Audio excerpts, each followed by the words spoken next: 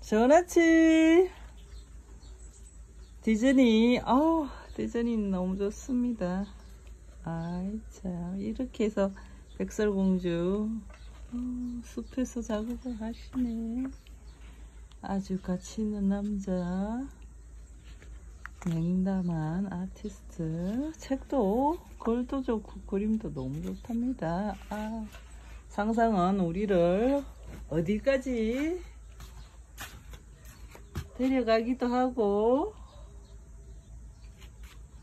날아가 날아다니기도 하고 꿈꾸기도 하고 상상이 없었다면 정말 많이 스트레스 받았을 겁니다.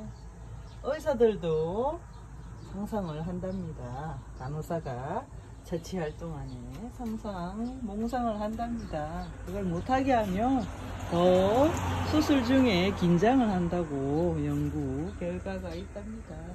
누구라도 멋진 상상 많이 하세요. 상상 속에 우리가 소환 못할 것도 없답니다.